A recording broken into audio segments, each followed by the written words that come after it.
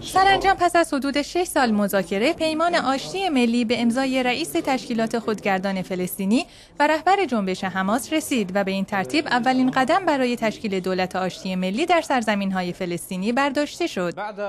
پس از گذشت سالها از واقعی تقسیم سرزمین فلسطین به دو بخش و کنترل حماس بر باریکه نوار غزه خبر مربوط به امضای قرارداد آشتی ملی میان دو گروه عمده فلسطینی فتح و حماس اعلام شد. درباره جزئیات این توافقنامه و چالش های پیش رو و آینده دولت فعلی با اعظم احمد رئیس هیئت نمایندگی جنبش فتح در این مذاکره به گفتگو نشسته ایم. پیشرفت فلسطینی ها در دستیابی به یک آشتی ملی را چگونه توضیح می دهید؟ به ویژان که قبل از آن شما سالهای طولانی را صرف این کار کرده بودید و به نتیجه واقعی نمی رسیدید. اولین علت موفقیت در عقد این توافقنامه انقلاب سی جوان در مصر بود که تمام منطقه را تحت تاثیر قرار داد. من پیش از این گفتم که دوره بعد از سی جوان و آنچه در مصر روی داد یک زلزله بود که تأثیرات آن برای زمانی طولانی در منطقه باقی خواهد ماند. اولین تأثیر این انقلاب را می توان در فلسطین دید. که باعث شد شرایط در نوار غزه تغییر کند و نوع تفکر حماس و نگرش مردم غزه نسبت به این موضوع عوض شود. دلیل دوم عقد توافقنامه این بود که اتحادهایی که پیش از این در منطقه خاورمیانه وجود داشت تغییر کرد. و این موضوع هم بر شرایط فلسطین تأثیر گذاشت. مثلا تغییراتی در رفتار کشورهای حاشیه خلیج روی داد و آنها از انقلاب سی جوان مصر حمایت کردند. منظورتان این است که سقوط اخوان المسلمین در مصر به شما کمک کرد تا عقد قرارداد آشتی با حماس که گروهی وابسته به اخوان المسلمین است برایتان آسان شود؟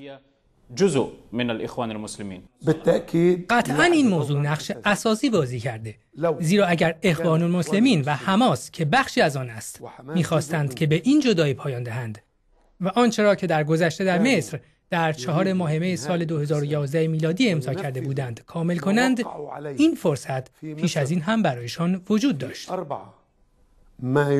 اما اخوان المسلمین به مدت یک سال در مصر حکومت کرد و در این مدت حتی یک قدم پیشرفت در روند آشتی وجود نداشت. آیا نگران نیستید که ممکن است حماس قرارداد آشتی را نقض کند؟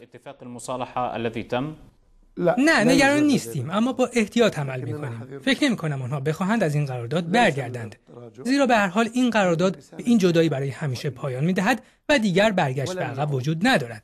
اگر آنها به تقسیم بندی دیگری فکر کنند چنین موضوعی نیاز به ابزارهای جدید و راههای جدیدی دارد که در حال حاضر برای آنها مهیا نیست.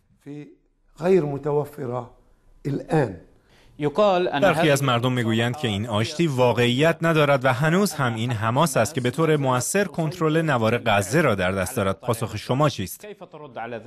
اول از همه سخنان من بسیار واضح و بدون ابهام است. من می‌گویم که این تقسیم و جدایی از نظر قانونی و سیاسی به پایان رسیده. و می‌گویم که حالتی از اشغال وجود دارد. و چالش کنونی چگونگی برخورد ما با موضوع تسلیحات در غزه است و انجام این کار آسان نیست. برخی از مردم می‌پرسند اگر حماس بخواهد تجربه حزب الله را در غزه تکرار کند تکلیف چیست؟ من به شما می‌گویم که ما کاملا به این موضوع آگاه هستیم. موانع اصلی پیش روی دولت فلسطین برای آشتی ملی چیست؟ ابتدا وحدت تمامی مؤسسات شهری و نهادهای نظامی و امنیتی بر اساس توافقنامه آشتی و یک پارچه سازی وظایف نظامی و وحدت سازمانهای امنیتی. هیچ تشکل نظامی نباید خارج از چارچوب قانون تشکیل شود.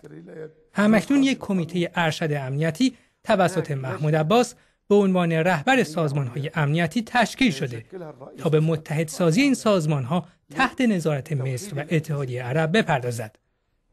از سوی دیگر در زمان اجرای فرایند صلح باید به موضوع اشغال سرزمین ها توسط اسرائیل و نقش این کشور به عنوان یک موضوع مهم پیش روی دولت جدید نیز توجه شود. چه نوع فشاری از سوی اسرائیل بر شما تحمیل می‌شد تا پیمان آشتی با حماس را نهایی نکنید و ناکامی در امضای این قرارداد چه منافعی برای اسرائیل داشت؟ اسرائیل سعی داشت برای ممانعت از انجام این کار ما را از لحاظ مادی مجازات کند. اما ما از طریق ایالات متحده آمریکا و اتحادیه اروپا به او گفتیم که اگر پولهایمان را بلوکه کند ما به سرعت به سازمان ملل و نهادهایش از جمله به کنوانسیون ژنو و فاو و دادگاه جنایی بین المللی خواهیم رفت. و ممکن است حتی اقداماتی بیش از این نیز انجام دهیم. مثلا به طور یک جانبه و با حمایت جامعه بین المللی و بنابر تصمیم 29 نوامبر سال 2012 میلادی که فلسطین به عنوان عضوی از سازمان ملل پذیرفته شد اعلام تشکیل یک دولت فلسطینی کنیم. بدعم المجتمع الدولي في ضوء قرار و یا اینکه مبارزات مردمی تشدید شود و در نهایت احتمال انجام هر اقدامی برای توقف هر فعالیتی که مانع از ادامه مذاکرات شود وجود داشت.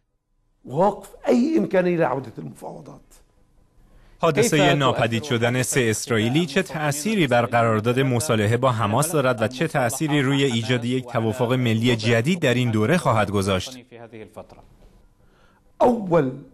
اولین بیانیه اسرائیل محمود عباس رئیس تشکیلات خودگردان فلسطین را متهم کرده بود و مسئولیت این حادثه را متوجه او دانسته بود.